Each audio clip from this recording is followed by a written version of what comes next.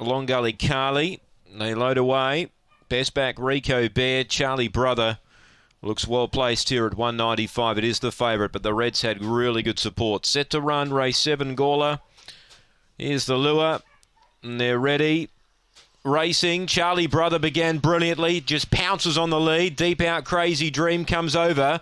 Long Gully Carly through to third as Crazy Dream cuts down and leads now from Charlie Brother. Third, Long Gully Carly and Rico Bear is closing in fourth. Four lengths away to Boombox Shelby, then Illustration, and Zetland County can see the entire field. Up on the rail goes Charlie Brother, takes over, darts clear. Three lengths on Crazy Dream. Third is Long Gully Carly, but Charlie Brother was headed off early, but he'll be first home. And Charlie Brother won by four to Crazy Dream. Long Gully Carly, Rico Bear photo third, fourth, then Illustration. Uh, Boombox Shelby, Zetland County, time 31.22.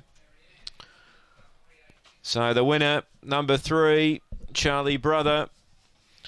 Favourite too good for Crazy Dream. And Long Gully Carly, number six, one fourth, Rico Bear. Three the winner. For Nicole Price, three, eight, six, and one. 3861, 3122 the time. Really had to recover there, Charlie Brother. He was first over to the rail, but he was headed off mid race. He was checked. He had to stop, start, come again, and he was too good. 3122 the time. 386 and 1 are in the frame. Run home in 14. Uh, 94. 3861. Race 7 from Gawler.